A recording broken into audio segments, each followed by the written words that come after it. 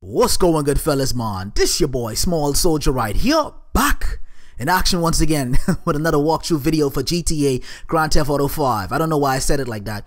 But in this video here man, I can show you all do some, some tips on how to get 100% completion on this mission complication. So with all out of the way, let's get started. So pretty much what we need to do in order to get 100% completion is we need to complete the mission within 5 minutes don't take any damage during the fight with Simeon and stealthily knock out the gardener. What I would suggest doing is after the initial cutscene, go ahead and take the nearest car. There was a car right in front of the dealership. Go ahead and snatch it up. And when you reach this point, hop out your vehicle, of course, and then hop over the damn fence over here.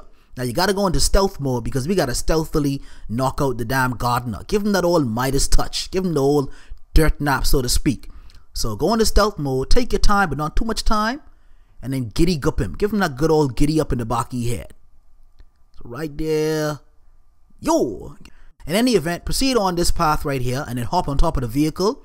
And then you, what you want to do is climb on top of the roof.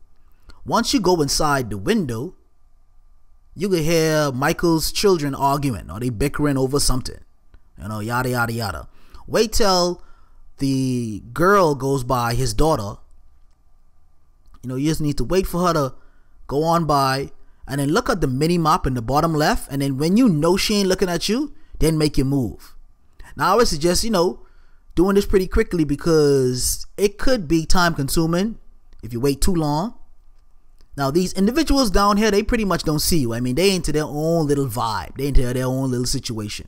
So go into the car, take the damn car, go into the garage, take the car and call it a day. So you're home free, right? No, just the start of damn some foolishness.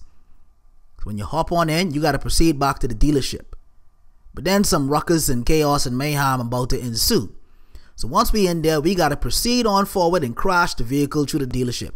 Just crash into the windows. I don't think it really matter how fast you're going. Crash into that window. Now what I did for this fight scene is pretty much just dodge the first attack. And then I just start wailing away.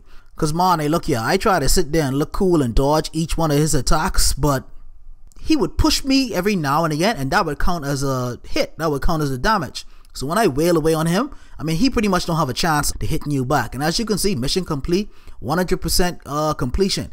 So folks, that is pretty much that. That completes this walkthrough video. It's pretty straightforward, pretty easy. Actually, you should be able to get this in one sitting, one good, good go.